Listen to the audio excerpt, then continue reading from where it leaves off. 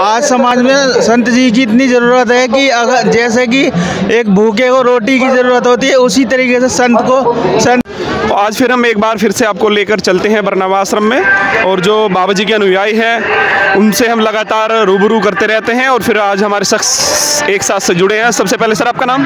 राजीव कुमार। राजीव जी हमारे साथ जुड़े हैं। राजीव जी हमारे दर्शकों को बताएँ कि आप बाबा जी से जुड़े हैं तो उनके पश्चात आपके जीवन में क्या चेंजिंग आए हैं? कैसा आप महसूस करते हैं? जब से मैं पिताजी के साथ जुड़ा हूँ बहुत ज़्यादा महसूस अच्छा महसूस करता हूँ। और जब से पिताजी जेल गए हुए हैं जब से इतना दूर समझता हूँ उनसे देखिए बहुत ज़्यादा अपने आप को समझता हूँ। बस कुछ कुछ कह नहीं सकता।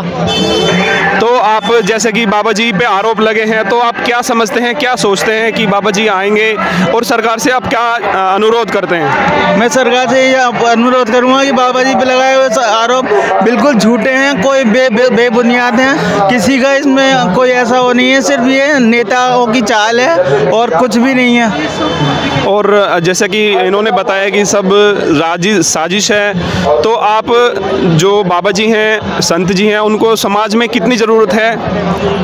आज समाज में संत जी की इतनी ज़रूरत है कि अगर जैसे कि एक भूखे को रोटी की ज़रूरत होती है उसी तरीके से संत को संत की हमें हमारे बाबा जी को की ज़रूरत है हमें। ऐसा क्यों ज़रूरत है? ऐसा है क्या उनमें? बाबा जी के बगैर हम बिल्कुल अधूरे हैं और अधूरे थे अधूरे हैं अधूरे ही रहेंगे।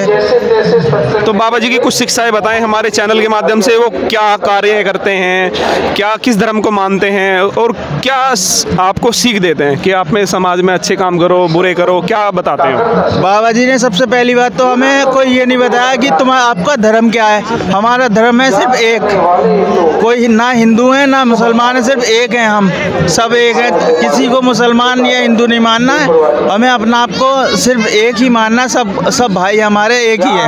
हम सब के भाई हैं, सब हमारे बहन भाई हैं, माता पिता हैं। तो इनका कहना है कि हम सब एक हैं, हम सभी को एक समझते हैं तो हमारे चैनल में जुड़ने के लिए आपका बहुत बहुत थैंक यू